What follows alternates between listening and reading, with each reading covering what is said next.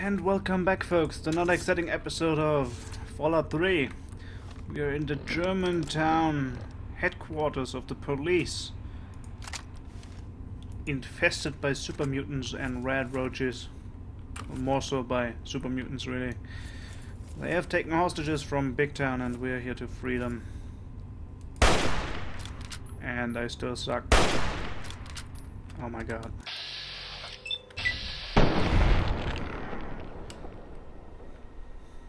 Thank you, rats, for saving my dignity. Yes, kill that radroach. The immense threat of that creature is unbelievable. So yeah, uh, we already cleared out the top and the uh, ground floor. And we have located one of the hostages. I'm not setting her free until I've cleared out the basement too. I think you can probably say, set her free without her running off, but I don't want to take that risk because I'm scared. Uh, more tumblers. That's an awesome thing to come across. Because I like lockpicking, as you can probably tell from what I'm doing right now. And the Fat Man. You may remember that as the uh, nuke launcher, or rather mini nuke launcher. Basically a mixture of a grenade launcher and a... Ugh, and a rocket launcher that fires tiny nuclear bombs. It looks like some raiders came across the super mutants, or the other way around. And it didn't end too well for the raiders either. Hmm. I'm not sure what to say to that. On the one hand, I don't mind raiders getting killed. On the other hand, nobody really deserves that. Then again, the raiders do that to each other all the time, so who, am I to judge, eh? Ah, more stuff, okay.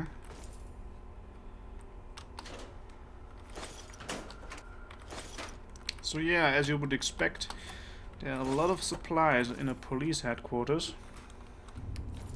Seems that the uh, super mutants didn't quite take everything away yet. There's a lot of useful stuff in there.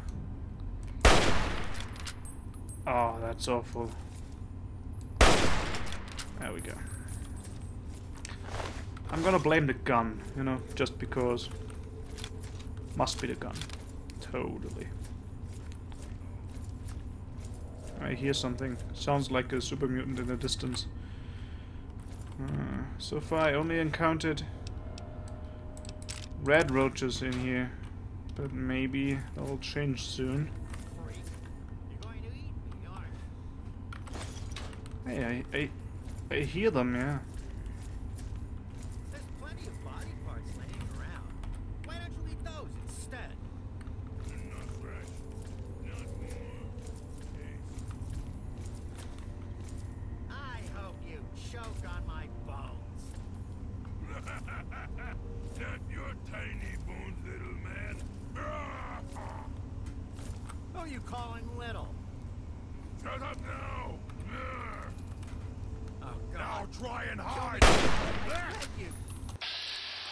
Take him out.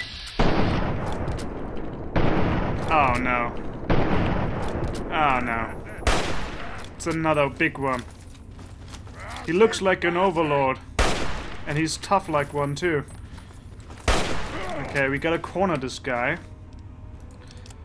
Luckily it doesn't seem to have any sort of weapon. So if it stays that way. The sword will break before this creature is dead. I can already tell.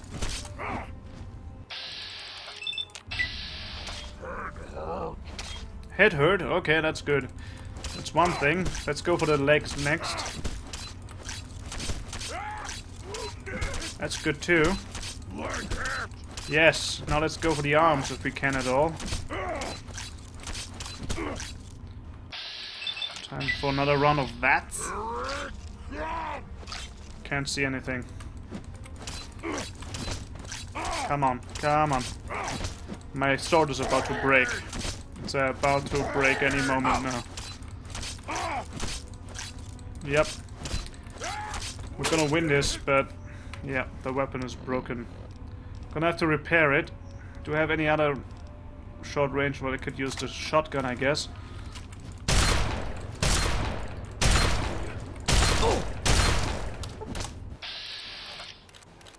Head, I guess?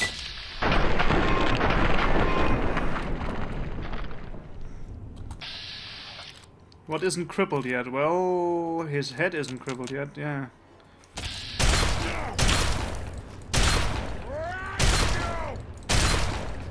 No! You're gonna die, dude. No!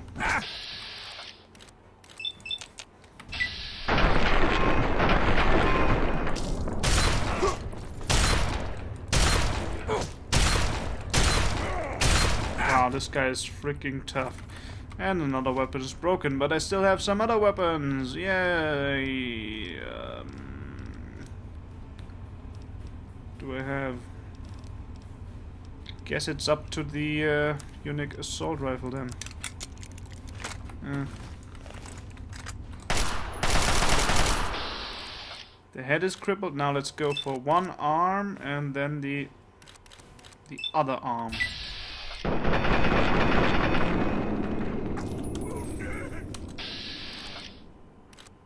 In case it has one leg and one arm that aren't crippled.